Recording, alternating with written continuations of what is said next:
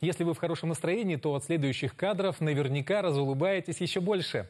У пары крохотных обезьянок в Красноярском зоопарке появилось потомство.